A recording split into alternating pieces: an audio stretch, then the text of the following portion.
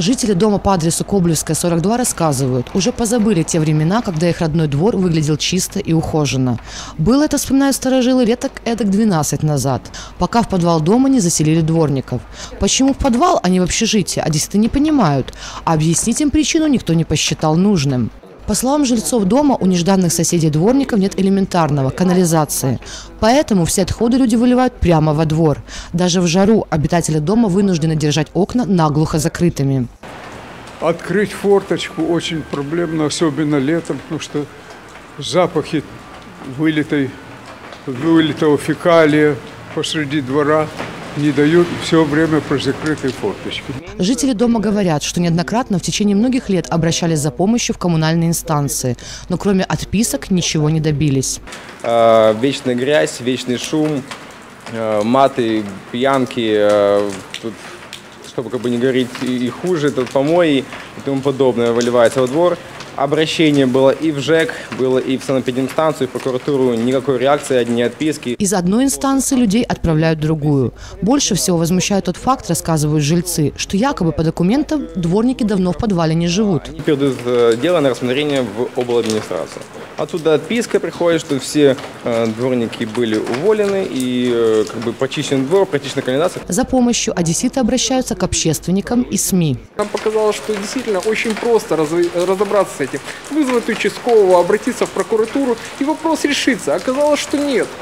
Оказалось, что действительно необходимо привлекать внимание общественности, привлекать внимание СМИ к этой проблеме и помочь ее решить. Потому что в конечном итоге люди, которые живут в этих домах, имеют право на то, чтобы распоряжаться своими подвалами, на то, чтобы в их подвалах не гадили, в их дворе не выливались постоянно помои. Вместе с Сергеем Дубенко мы спускаемся в подвал дома, где и проживают дворники. Неприятный запах затрудняет дыхание, а света практически нет. Это помещение можно назвать жилым?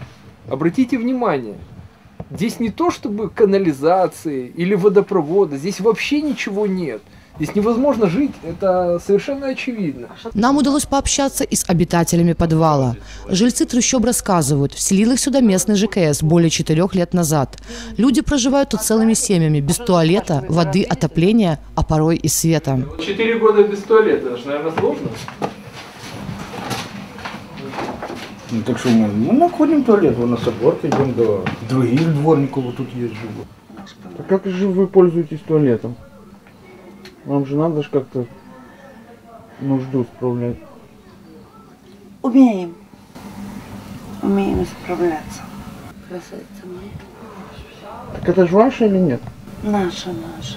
Никаких документов о том, что незаконные владельцы помещения у людей нет. Документы у вас есть, что вы, ну вот, какие-то... Как что... любые документы, любые что документы. вы здесь проживаете. То есть, что вы здесь не просто вот зашли сюда и самостоятельно здесь живете, а что вы имеете право здесь жить вообще.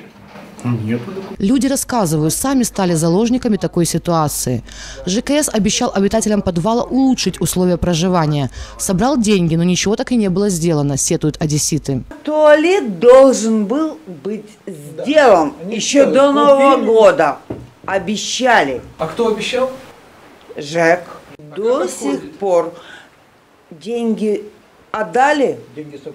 Мы деньги, все деньги дали. А Сколько с вас собрали денег? с каждого С каждого. по 600.